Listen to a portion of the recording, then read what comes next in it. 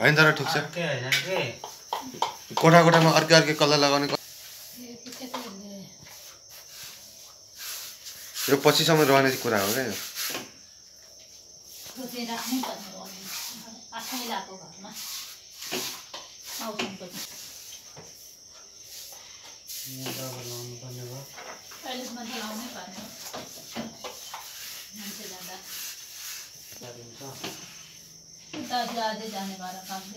म एकछिन आउँदै जानु जान्छस्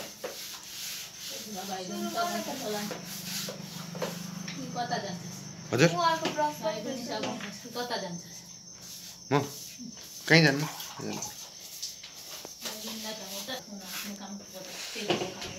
तपाईँ जतिको जान्ने भइन भन्नु पऱ्यो नि